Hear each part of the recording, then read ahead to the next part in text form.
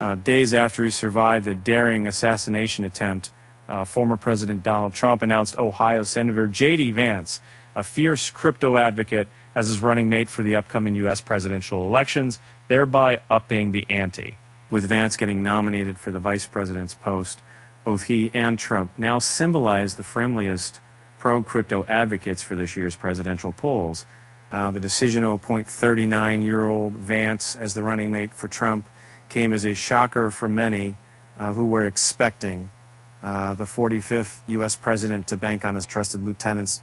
Uh, uh, however, the crypto world was buzzing with excitement over the announcement, as within hours a meme coin JDV named after Vance was launched and saw a staggering 410% rise in value within hours. A major reason behind Vance getting traction from the crypto community is his support for cryptocurrencies, criticism of traditional finance structures, and huge advocacy for Trump's policies. And they're even down and expected up.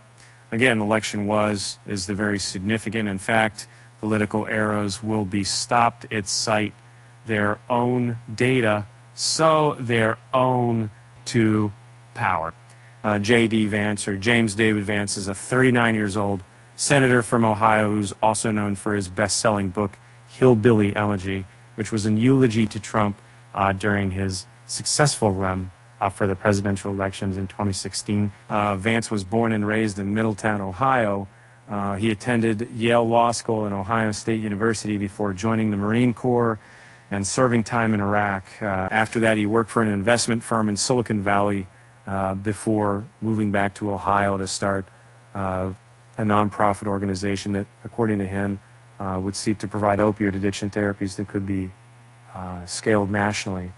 After winning a Senate seat in 2022, backed by Donald Trump, Vance has emerged as one of the most ardent supporters of the former president's Make America Great Again within the United States till America cracks.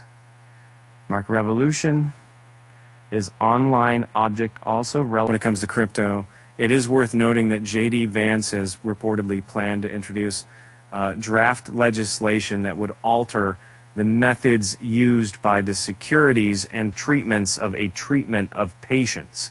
Now, guys, what is the second second site of the CFTC?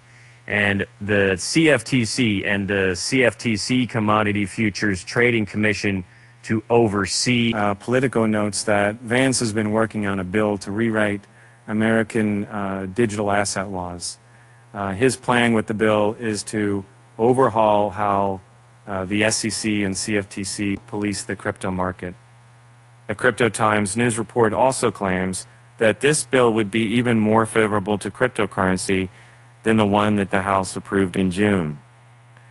As it happens, Vance is a former venture capitalist with a personal stake in increasing public acceptance of cryptocurrency assets.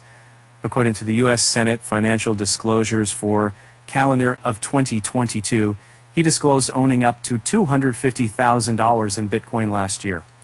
Uh, in fact, uh, according to research mentioned above, uh, J.D. Vance's net worth is projected to be between $3.75 million and $10.495 million due to his significant ownership of a flagship uh, decentralized finance, DeFi asset, which he bought from Coinbase, one of the biggest cryptocurrency exchanges um, worldwide. Uh, additionally, Vance possesses Bitcoin in addition to a brokerage account with Robinhood, an exchange traded fund for crude oil uh, worth up to $100,000, an ETF for gold worth up to $250,000, and a checking account with Charles Schwab for up to $250,000. So according to political analysts, the decision to nominate Vance as potential VP could be a strategy to win over the working class and blue collar American voters, as the senator has portrayed himself as a former veteran who rose through the political ranks. Moreover, Vance has been known as a fierce advocate for Trump's policies related to abortion, foreign trade, and crypto, and a host of other topics.